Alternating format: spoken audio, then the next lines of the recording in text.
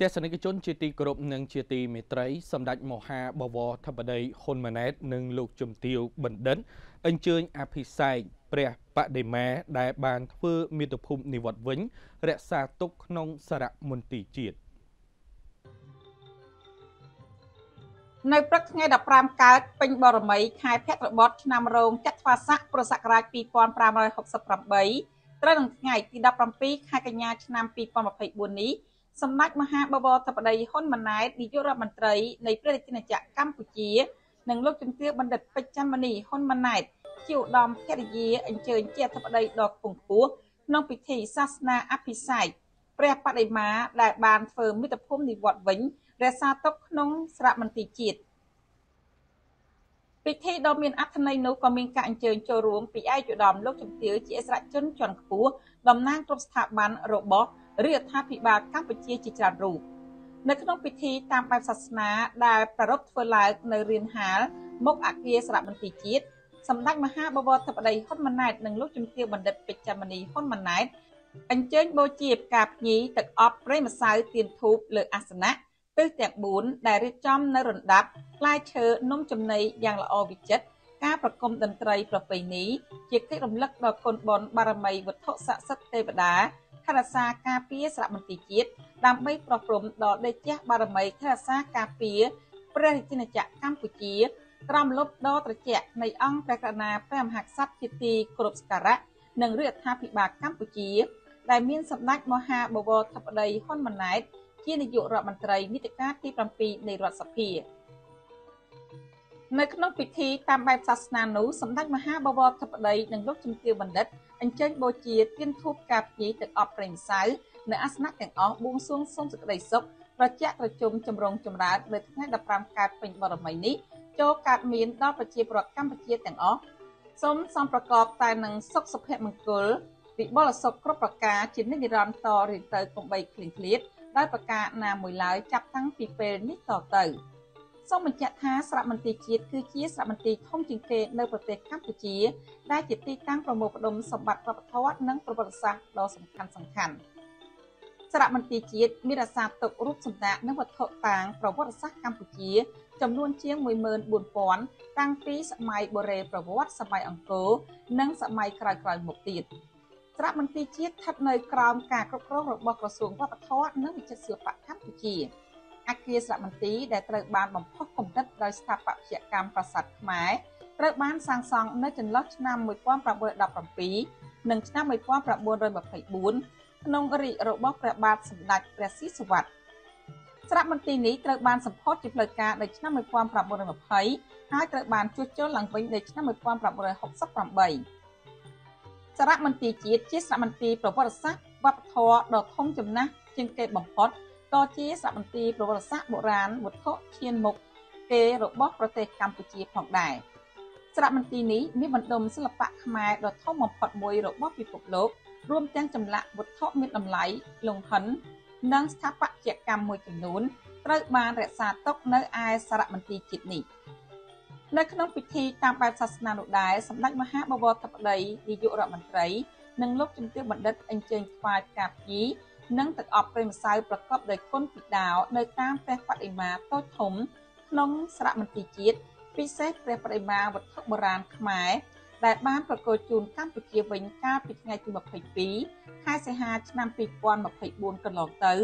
នៅវិមានសន្តិភាពរាជធានីភ្នំពេញ ការរៀបចំពិធីទទួលវត្ថុបុរាណខ្មែរដែលបានប្រកួតជូនព្រះរាជាណាចក្រកម្ពុជាវិញបន្ទាប់ពីបានរសាត់ចាក់ឆ្ងាយពីមាតុភូមិកំណើតអស់រយៈពេលជាច្រើនឆ្នាំដែលបង្កឡើងដោយសង្គ្រាមអំពើចរកម្មនិងការជួញដូរខុសច្បាប់ទៅក្រៅប្រទេស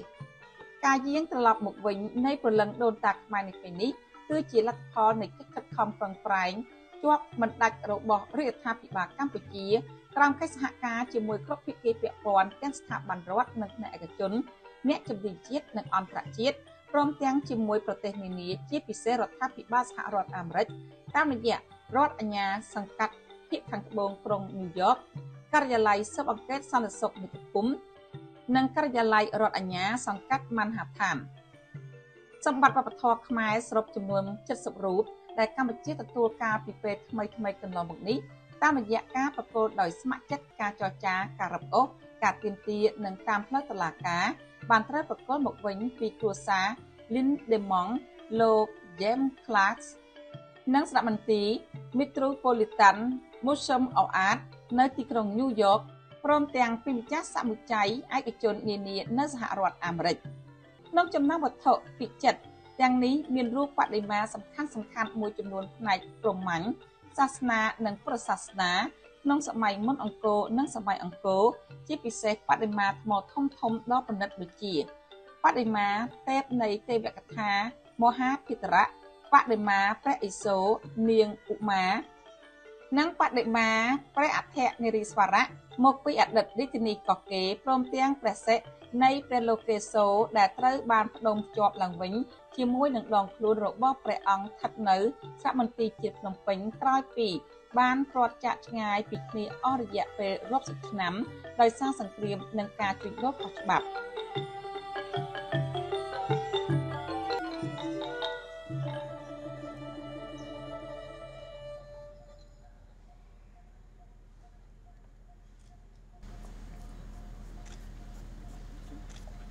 Uh,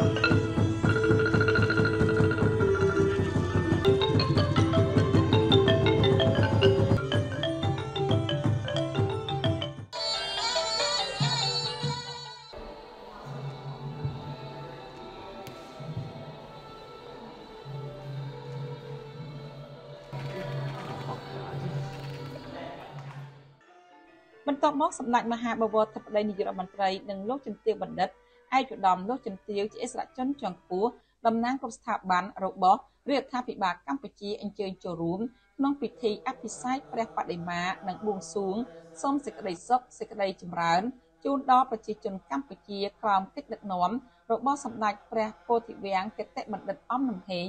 សម្ដេចព្រះសង្ឃនាយកស្ដីទី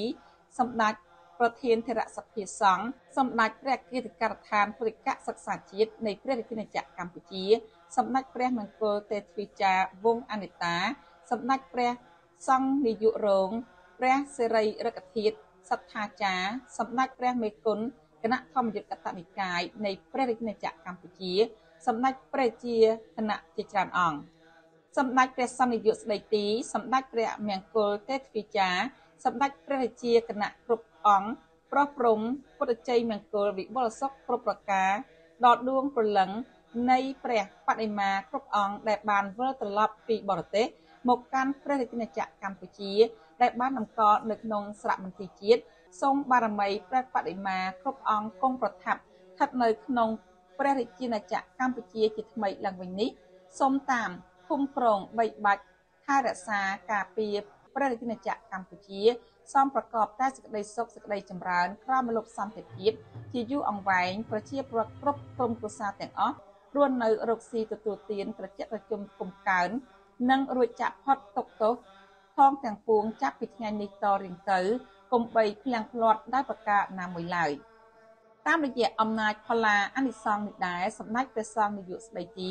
សម្ដេចព្រះមង្គលទេពវិចាសម្ដេច ព្រះរាជាគណៈគ្រប់អង្គបានចម្រើនពរជូនសម្ដេចមហាបវរធិបតីនាយករដ្ឋមន្ត្រីនិងលោកជំទាវបណ្ឌិតសូមមានដែលជះបារមីខ្លាំងពូកែដើម្បីដឹកនាំនាវាកម្ពុជាកាន់តែរីកចម្រើនទ្វេឡើងថែមទៀតចាប់តាំងពីពេលនេះតទៅ